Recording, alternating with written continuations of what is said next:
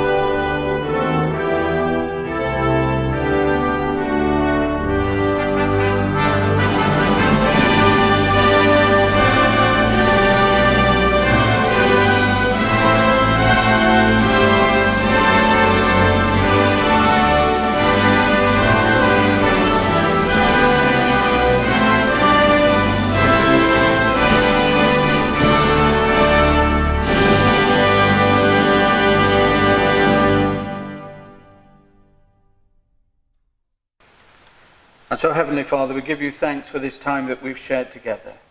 And now we ask for your blessing upon us. So the blessing of God Almighty, the Father, the Son, and the Holy Spirit be with you and those whom you love, this day and always.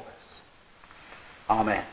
They shall not grow old, as we that are left grow old. Age shall not weary them, nor years condemn. At the going down of the sun and in the morning, will remember them. We will remember them.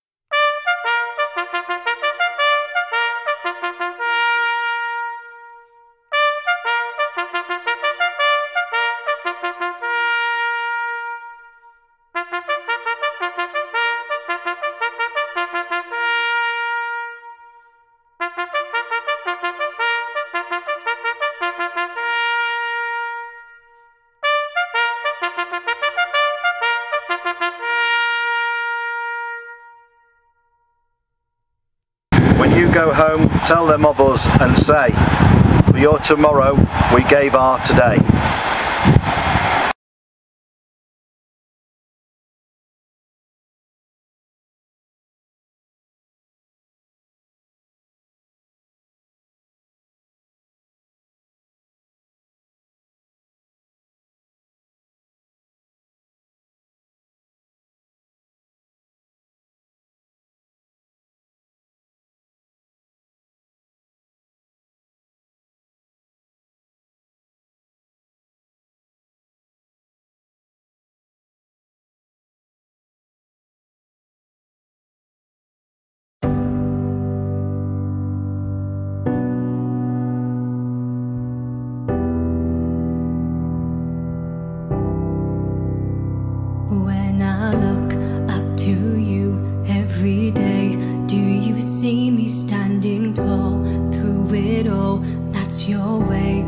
What you taught me, close my eyes, and you're there like a star, always shining down on me.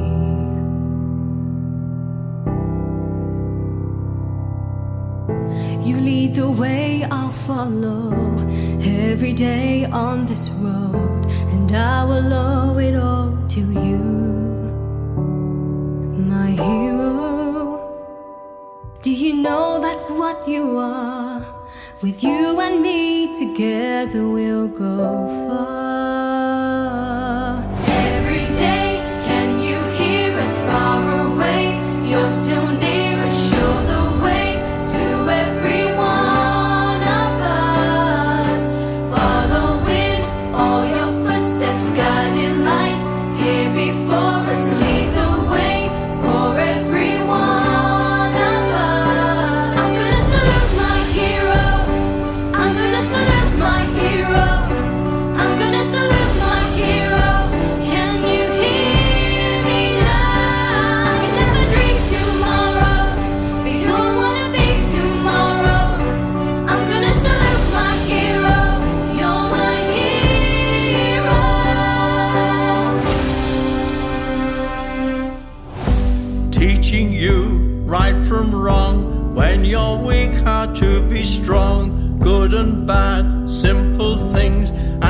grateful for all you have.